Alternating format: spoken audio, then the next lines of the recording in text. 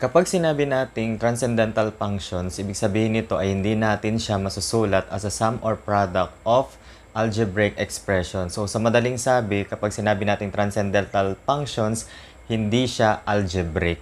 Okay, so ngayon ay pag-uusapan natin kung paano kunin ang limit ng tatlo sa mga uri ng transcendental functions. Meron tayong exponential, meron tayong logarithmic, and trigonometric functions. So unahin na natin agad yung exponential functions. We have the theorem, limit of b raised to g of x as x approaches c is equal to b raised to g of c.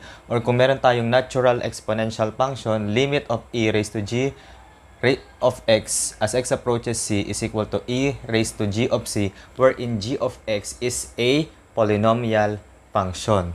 So ano bang ibig sabihin ng theorem na ito? Kung mapapansin ninyo, kapag kukunin natin ang limit ng exponential functions, gagamitin lang natin ang direct substitution.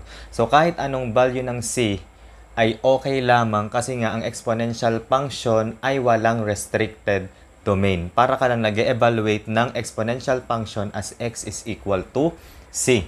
For example, we have to find the limit of 2 raised to x plus 1 minus 3 as x approaches 2. Substitute lang natin yung 2 sa x. So, magiging 2 raised to 2 plus 1 minus 3 is equal to 2 raised to 3 minus 3 is equal to 8 minus 3 is equal to 5. Ganun lang siya kadali. Kung mayroon tayong uh, natural exponential function, limit of e raised to x plus 1 as x approaches 4 is equal to e raised to 4 plus 1. Pinalit natin yung 4, kaya e raised to 5. Pwede nyo i-calculator yung e raised to 5 or okay na rin siyang, or acceptable na rin yung e raised to 5.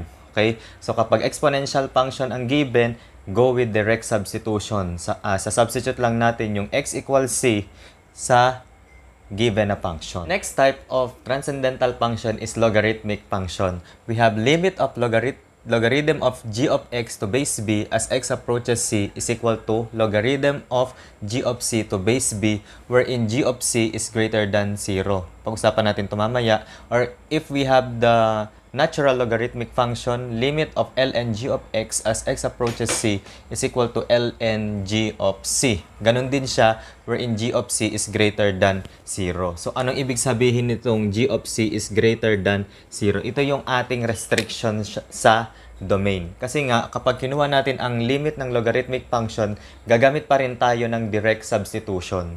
Okay? So, ano ibig sabihin nito?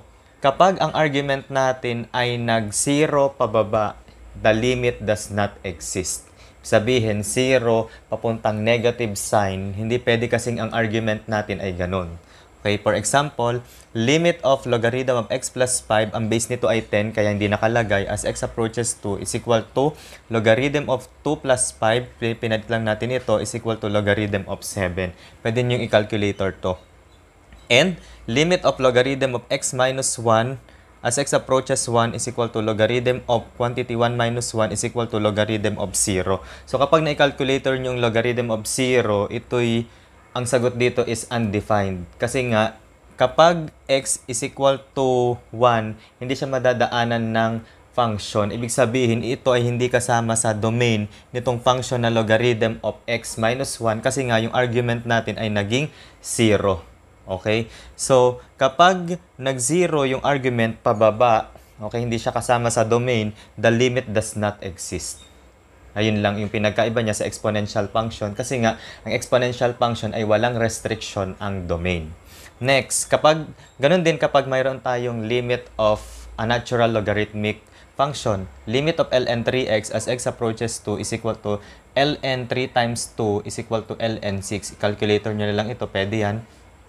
And if we have limit of ln x minus 7 as x approaches 5 is equal to ln 5 minus 7 is equal to ln of negative 2, the limit does not exist. Dahil uh, hindi ito madadaanan ng function as x at x is equal to 5. Okay, ibig sabihin itong 5 ay hindi kasama sa domain ng function na ln of x minus 7. Okay, so tandaan kapag ka logarithmic function, meron tayong uh, part dyan na hindi mag exist yung limit kasi nga hindi part ng domain yung x na iyon. The next one is trigonometric function. Mayroon tayong anim na uri ng trigonometric function. We have the sine, cosine, tangent, cosecant, secant, and cotangent. So, kung babalikan natin ang inyong pre-calculus lessons, so itong sine and cosine functions ay walang restricted domain. Ibig sabihin, ang sine at cosine function ay defined for all values of x. Pero ang tangent, cosecant, secant, and cotangent ay may restriction ang domain. So, para pagsamasamahin natin, kung kukunin natin ang limit ng trigonometric functions, gagamit pa rin tayo ng direct substitution. Ngayon, paano kapag hindi defined yung function dun sa value ng x? So, ang sagot ay limit does not exist. Kasi nga, hindi siya defined. Hindi nadaanan yung point na iyon at x is equal to c if c is not in the domain of the given function. So, limit of sine g of x as x approaches c is equal to sine g of c. Limit of cos g of x as x approaches c is equal to cos g of c. Limit of tangent g of x as x approaches c is equal to tangent g of c. Ganun din sa kanilang reciprocal functions. Okay? Wherein g of x is a polynomial function or g of x is a function of x. Let's take a look at finding the limits of the following trigonometric functions. Number 1, limit of sine x as x approaches pi over 6 is equal to, substitute lang natin itong pi over 6 dun sa x. So, pi, sine pi over 6 is equal to 1 half.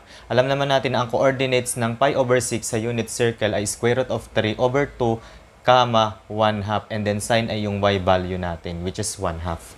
Next, limit of tangent 2x as x approaches pi over 6 is equal to tangent of 2 times pi over 6 is equal to tangent pi over 3 is equal to ang ating tangent ay equal sa sine over cosine. So, sine pi over 3 over cosine pi over 3 and then get the coordinates of pi over 6 in the unit or pi over 3 in the unit circle we have 1 half comma square root of 3 over 2 so sine pi over 3 is y value so square root of 3 over 2 over cosine is 1 half which is equal to square root of 3 so ganun lang siya kadali nagsasubstitute lang din tayo.